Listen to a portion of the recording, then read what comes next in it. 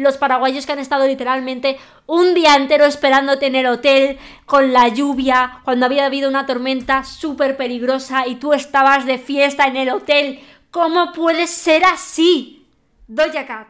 La verdad es que ha dado muchísimo que hablar. Ha pasado algo que casi nadie se esperaba que pudiese pasar. Una artista internacional, mundialmente famosa, se mete con un país de Latinoamérica, le desprestigia hasta el punto de que decide dejar la música. Todo esto lo vamos a ver todos juntos ahora en varios vídeos que he seleccionado para enterarnos bien del morbo, porque ya sabéis que esto es mejor verlo entre amigos. Doja Cat se retira de la música, Kazu contra Doja Cat. Vamos a ver qué ha pasado ¿Y por qué? Cancelan a Doja Cat por su trato con el público en Paraguay. La rapera estadounidense estalló en furia en las redes luego de suspender su show en ese país y arremetió contra sus fans. Luego de su presentación en el Lollapalooza Argentina, Doja Cat continúa con su gira por Latinoamérica, en la que incluyó presentaciones en Paraguay y Brasil. Contrario al plan, debió suspender uno de sus shows, y esto le habría provocado un fuerte enojo por el cual arremetió en Twitter contra sus seguidores. La repercusión de sus palabras fue tal que debió borrar su posteo en redes sociales. A ver, a ver, a ver, es que perdonad por parar tan rápido, pero es que ya es muy loco. En plan, tienes un concierto en Paraguay, se tiene que cancelar tu concierto por motivos de lluvia, ya os lo digo yo y de repente decides cargar contra tus seguidores. Eh, en realidad es porque sus seguidores no fueron a esperarla al hotel, porque ya les había esperado una noche antes y no, había, les habían hecho ni caso, pero bueno, lo va, lo va a explicar ahora. Me parece súper mal por parte del artista, me parece una locura lo que va a decir ahora mismo. Quien en principio dijo, Hubo una fuerte tormenta en Paraguay y el show se canceló. Cuando me fui a la mañana siguiente no había una sola persona fuera del hotel esperándome. Dejen que eso se hunda. Y con respecto a lo últimamente dicho, se refiere a la situación que se encontraba el país en ese momento. Vale, o sea, literalmente, el país en el que estás acaba de recibir una tormenta brutal, súper peligrosa, y lo único que te enfada es que ese día hayas salido de hotel y no haya nadie esperándote. O sea, eso es de tener el ego súper grande, pero desmedido. De hecho, yo investigué un poquito, un poquito, ¿vale? Porque sin vosotros tampoco quiero investigar mucho. Y resulta que es que los fans habían ido a buscarle al hotel el día anterior, con toda la lluvia, les habían estado esperando a Doja Cat todo el día en el hotel y ella no salió. Entonces literalmente dijeron, pues me voy a casa. Y al día siguiente obviamente no había nadie porque, porque ya habían estado esperando a Doja Cat un día entero. O sea, es muy fuerte.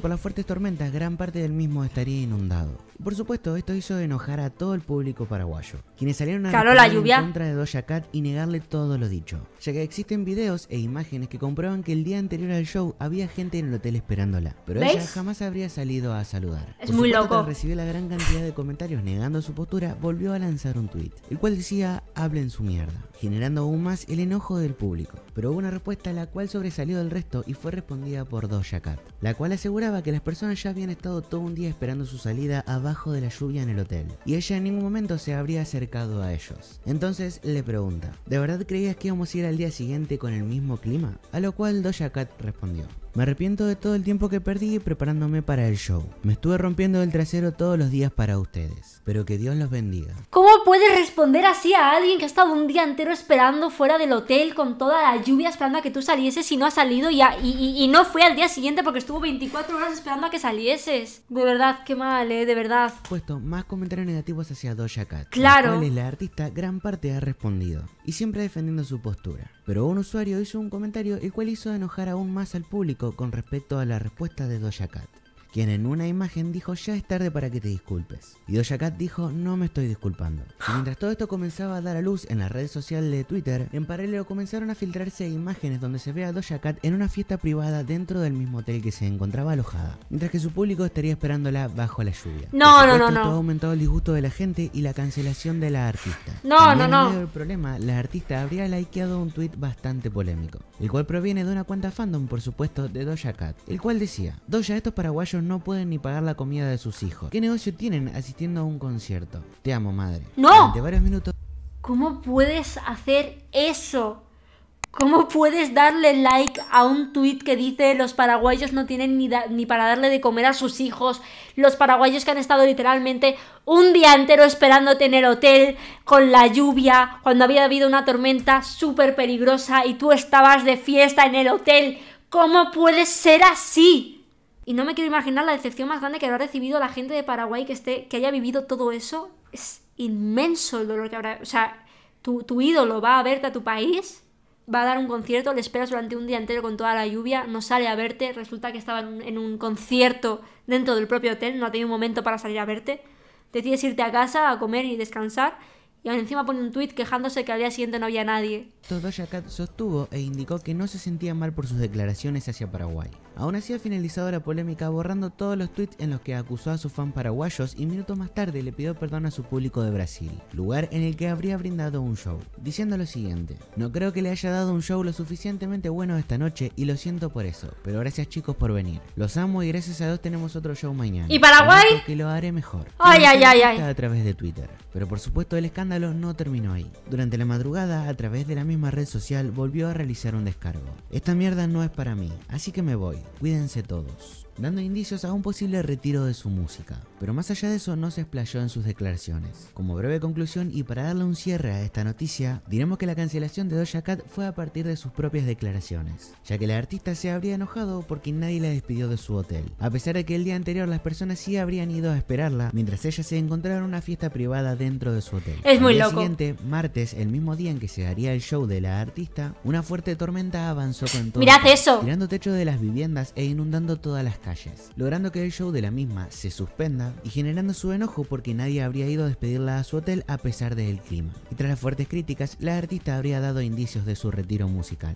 Esto fue Hagamos Tendencia. Es muy loco. O sea, literalmente acabamos de ver las imágenes de la lluvia que ha arrasado toda la ciudad, todo el suelo. Eh, no es una lluvia cualquiera, de una lluvia que simplemente te moja la ropa y ya está.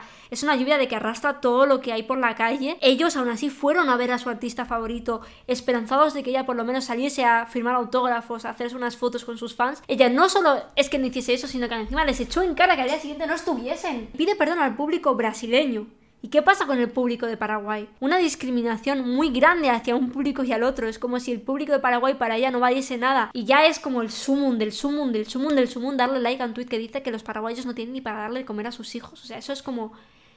Es que es motivo de cancelación, no lo del chocas, que bueno, que también, pero esto ya es... Yo no entiendo cómo hay gente que se le puede ir tanto a la cabeza, que puede distorsionar tanto la realidad como para creer que otras gentes tienen que dar su vida literalmente por ver a una persona. Y de hecho hasta me informado y Miley Cyrus dejó de seguir en Instagram a Doja Cat y me parece razonable. ¿eh? Bueno, este es el contexto un poco de por qué Doja Cat ha sido cancelada en Paraguay. Me parece un motivo más que razonable ya que literalmente me parece una ida de olla, no es que haya sido un malentendido, no es que haya sido un error humano, no es que haya sido un error del que luego se haya arrepentido y haya pedido perdón, no, no, no, no.